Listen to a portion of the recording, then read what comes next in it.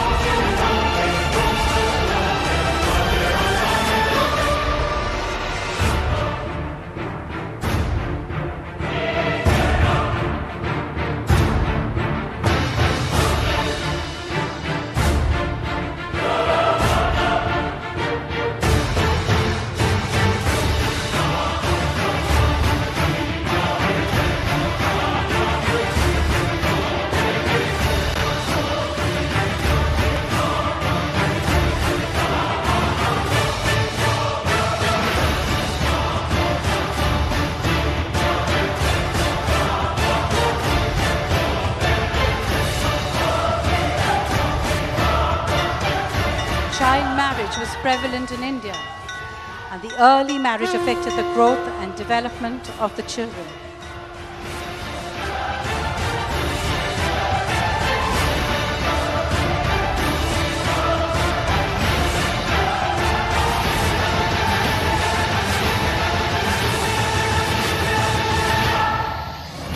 Child widows were condemned to a life of great agony and were shunned by society.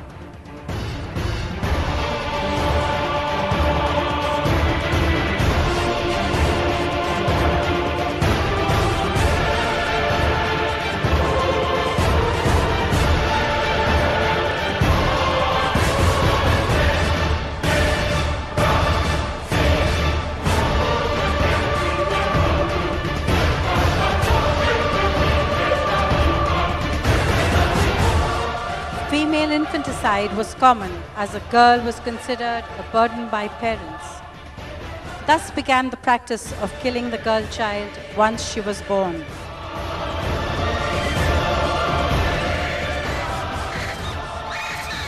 She would be snatched away from the mother's arms.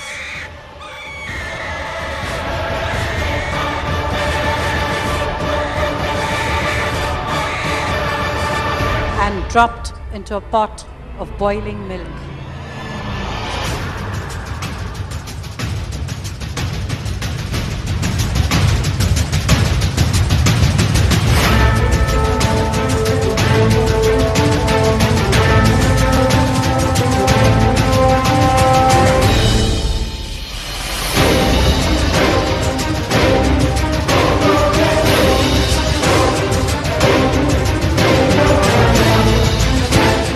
Continuing abuse of the dowry tradition.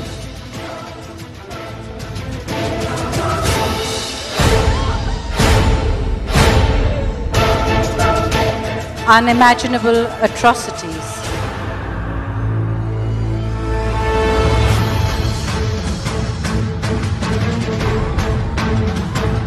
Unrestricted use of violence.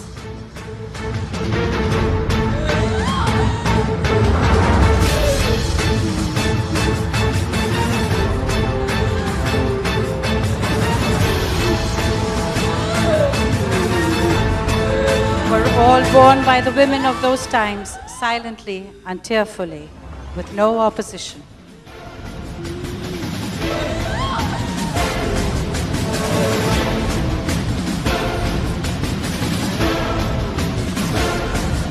Such was the status of women that they were pledged in gambling and degraded and demeaned in public.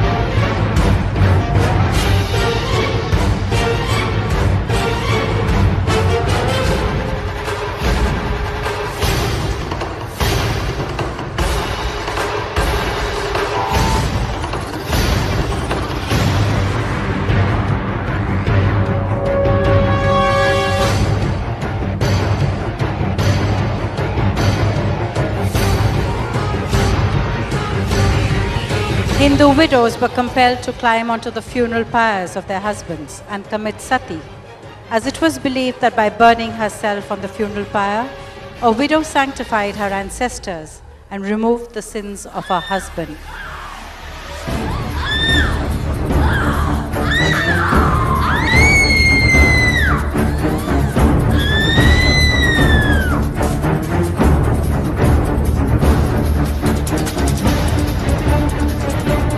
Status of widows in India was deplorable.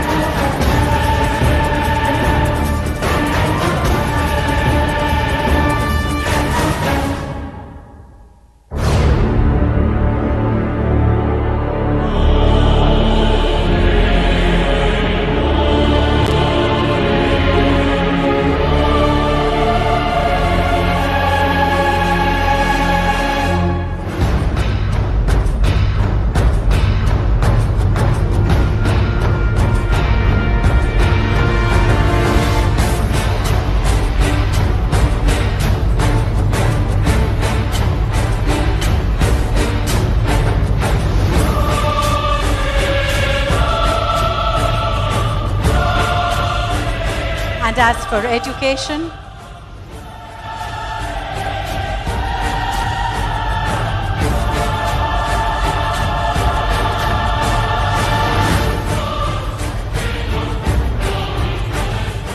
educating the girl child, and that too in English,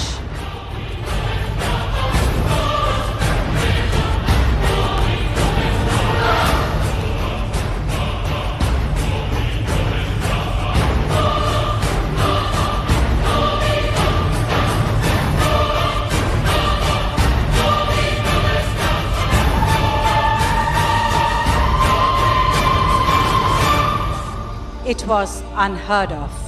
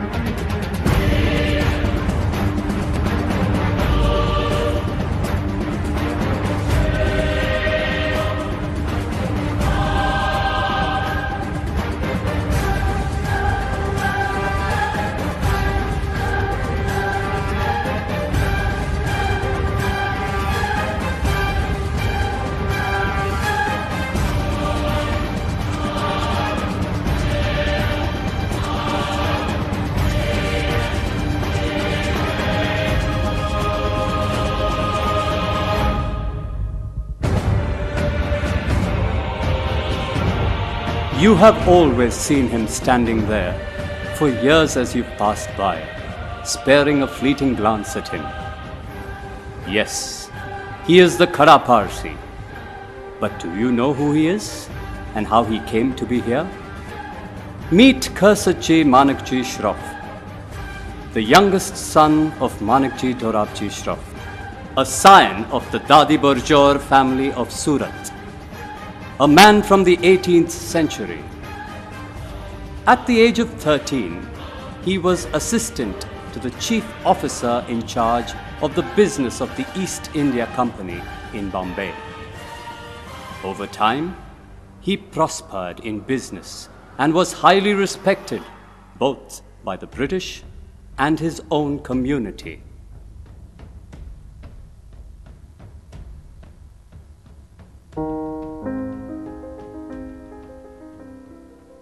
You still staring at me?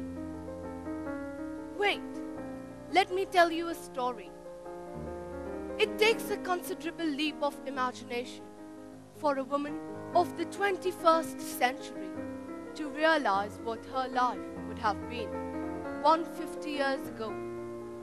We take for granted nowadays that a woman can have a career if she applies herself. We take for granted that a woman can choose whether or not to get married, whether or not to have children, and how many. But women in the mid 19th century had no such choices. Most of them lived in a state little better than slavery. They had to obey men because, in most of the cases, men held all the resources and women had no independent means of subsistence. Nor could she follow a profession since they were all closed for women. Girls received less education than boys, were barred from universities, and could only obtain low paid jobs. Women's sole purpose was to marry and reproduce. Women were indoctrinated from birth to accept their lowly status, and yet many did rebel. In 1808 was born a young man who grew up with a vision to change things around him. This young man was unhappy with the treatment meted out to women and wanted a better life for them. This young man was the first Indian Freemason who, more than 125 years ago, displayed the courage and zeal to have the portals of the sacred citadel of Freemasonry thrown open to Indians. He was the first Indian member of the Royal Asiatic Society of England, Honorary Commissioner in the Court of Request, Judge of Bombay Small Causes Court. He was the first Indian to be appointed Assistant Collector of Customs, twice Sheriff of Bombay. This is the man you should honor.